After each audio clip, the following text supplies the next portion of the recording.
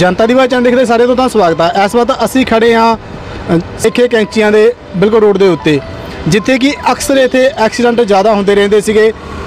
ਉਹਨਾਂ ਚੀਜ਼ਾਂ ਨੂੰ ਮੱਦੇਨਜ਼ਰ ਰੱਖਦੇ ਹੋਏ ਇੱਥੇ ਜਿਹੜੀਆਂ ਲਾਈਟਾਂ ਲੱਗੀਆਂ ਨੇ, ਤੁਸੀਂ ਦੇਖ ਸਕਦੇ ਹੋ ਚਾਰੇ ਪਾਸੇ ਲਾਈਟਾਂ ਲੱਗੀਆਂ ਨੇ। ਤਾਂ ਇਸ ਲਾਈਟਾਂ ਲਾਉਣ ਤੋਂ ਬਾਅਦ ਇਹੀ ਉਮੀਦ ਕੀਤੀ ਜਾ ਸਕਦੀ ਹੈ ਕਿ ਇੱਥੇ ਜਿਹੜੇ ਐਕਸੀਡੈਂਟ ਪਹਿਲਾਂ ਲਗਾਤਾਰ ਹੁੰਦੇ ਸੀ, ਉਹਨਾਂ ਨੂੰ ਨੱਥ ਪਾਈ ਜਾਵੇਗੀ ਔਰ ਐਕਸੀਡੈਂਟ ਘੱਟ ਹੋਣਗੇ। ਸਾਡੇ ਨਾਲ ਵੀਰ ਮੌਜੂਦ ਹੈ ਇਹਨਾਂ ਦੀ ਬਿਲਕੁਲ ਜਿਹੜੀ ਜਿਹੜੀ ਫਲਾਂ ਫਰੂਟਾਂ ਦੀ ਦੁਕਾਨ ਹੈ ਬਿਲਕੁਲ ਨਾਲ ਹੈਗੀ। ਆਪਾਂ ਗੱਲਬਾਤ ਕਰਦੇ ਹਾਂ ਕਿ ਉਹਨਾਂ ਦਾ ਕੀ ਕਹਿਣਾ? ਹਾਂਜੀ ਸਰ ਕੀ ਹਾਲ ਹੈ ਜੀ? ਬਹੁਤ ਵਧੀਆ ਜੀ। ਕੀ ਕਹਿਣਾ ਚਾਹੋਗੇ ਜਿਹੜੀਆਂ ਲਾਈਟਾਂ ਲੱਗੀਆਂ ਨੇ ਇਹਦੇ ਨਾਲ ਐਕਸੀਡੈਂਟ ਨੂੰ ਫ਼ਰਕ ਪਊਗਾ ਜੀ? ਹਾਂਜੀ ਹਾਂਜੀ ਇੱਥੇ ਐਕਸੀਡੈਂਟ ਨੂੰ ਬਹੁਤ ਜ਼ਿਆਦਾ ਫ਼ਰਕ ਪਊਗਾ ਕਿਉਂਕਿ ਇਹ ਕਾਫੀ ਸਮੇਂ ਤੋਂ ਇੱਥੇ ਚੌਂਕ ਬਣਨ ਦੀ ਜਾਂ ਲਾਈਟਾਂ ਲੱਗਣ ਦੀ ਇੱਥੇ ਐਕਸੀਡੈਂਟ ਹੁੰਦੇ ਸੀ।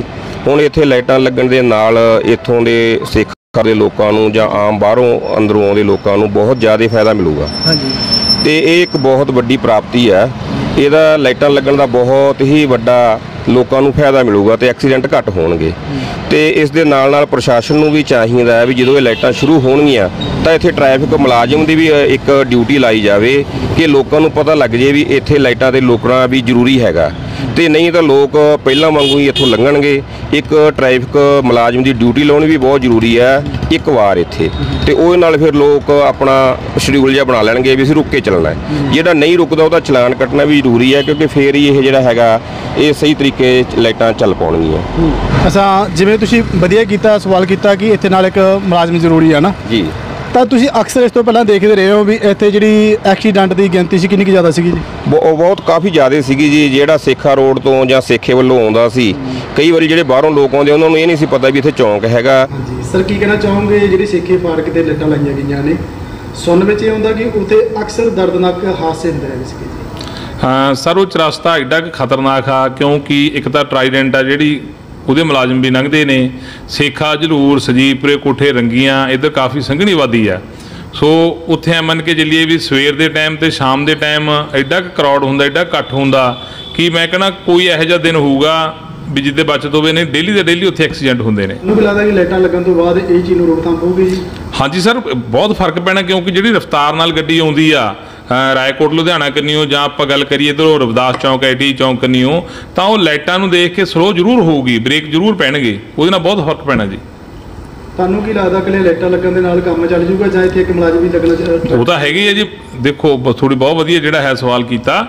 ਮੁਲਾਜ਼ਮ ਤਾਂ ਜ਼ਰੂਰੀ ਆ ਕਿਉਂਕਿ ਜਿਹੜਾ ਸਾਡਾ ਸਿਸਟਮ ਆ ਉਹ ਐਡਾ ਕੁ ਮਾੜਾ ਹੋ ਚੁੱਕਿਆ ਕਿ ਲੋਕ ਆਪਦੀ ਜਾਨ ਦੀ ਪਰਵਾਹ ਨਹੀਂ ਕਰਦੇ ਜਾਣੀ ਇੱਕ ਦੂਜੇ ਦੇ ਮੂਹਰ ਦੀ ਜਾਂਦੇ ਨੇ। ਜੇ ਇੱਕ ਮੁਲਾਜ਼ਮ ਇੱਥੇ ਪ੍ਰੋਪਰ ਲੱਗ ਜੇ ਤਾਂ ਮੰਨ ਕੇ ਚੱਲੀਏ ਕਈ ਜਾਨਾਂ ਬਚ ਸਕਦੀਆਂ ਨੇ ਤੇ ਲੋਕ ਆ ਜਿਹੜੇ ਅ, ਡਰ ਨਾਲ ਜਿਹੜਾ ਹੈਗਾ ਸਿਸਟਮ 'ਚ ਰਹਿਣਗੇ।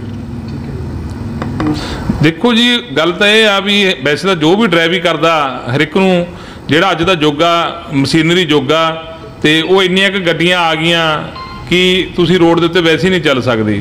ਸੋ ਇਹਦਾ ਸਾਰਿਆਂ ਨੂੰ ਚਾਹੀਦਾ ਵੀ ਆਪਦੇ ਸਿਸਟਮ 'ਚ ਰਹਿ ਕੇ ਚਲਾਉਣ, ਚਾਹੇ ਮੋਟਰਸਾਈਕਲ ਆ, ਸਕੂਟਰ ਆ, ਕੋਈ ਵੀ ਆ, ਜੇ ਉਹ, ਜਿਹੜੀ ਉਹਦੀ ਰਫ਼ਤਾਰ ਆ, ਰੋਡ ਦੇਖ ਕੇ ਚਲਾਵੇ ਤਾਂ ਚੰਗੀ ਗੱਲ ਆ, ਜੇ ਹੁਣ ਚੁਰਸਤਾ ਤਾਂ ਉਸ ਹਿਸਾਬ ਨਾਲ ਚਲਾਵੇ, ਜੇ ਕੋਈ ਆਪਾਂ ਬਾਜ਼ਾਰ ਜਾਂਦੇ ਆ ਤਾਂ ਉਸ ਹਿਸਾਬ ਨਾਲ ਚਲਾ ਲੇ, ਕਿਉਂ, ਕਿਉਂਕਿ ਅੱਗੇ ਨੁਕਸਾਨ ਅਗਲੇ ਦਾ ਵੀ ਹੁੰਦਾ, ਜਿਹਦੇ ਵਿੱਚ ਕੋਈ ਵੱਜਦਾ।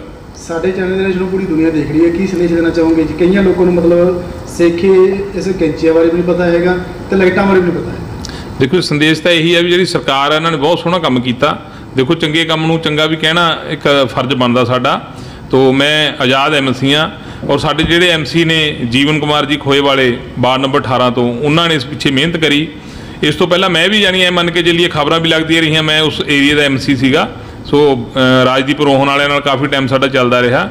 ਪਰ ਜਦੋਂ ਕਿਸੇ ਕੰਮ ਨੇ ਹੋਣਾ ਹੁੰਦਾ ਤਾਂ ਉਦੋਂ ਹੀ ਹੋਣਾ। ਸੋ ਇਹ ਜਿਹੜੀ ਹੈਗੀ ਆ ਸਰਕਾਰ ਵੱਲੋਂ ਬਹੁਤ ਵਧੀਆ ਜਿਹੜਾ ਪਹਿਲ ਕਦਮੀ ਕੀਤੀ ਆ। ਸੋ ਚੰਗੀ ਗੱਲ ਆ। ਇਹ ਵਧੀਆ ਰਹੂਗਾ ਤੇ ਲੋਕਾਂ ਨੂੰ ਵੀ ਇਹਨੂੰ ਅ, ਜਾਣੀ ਰਿਸਪੌਂਸ ਦੇ ਰਿਹਾ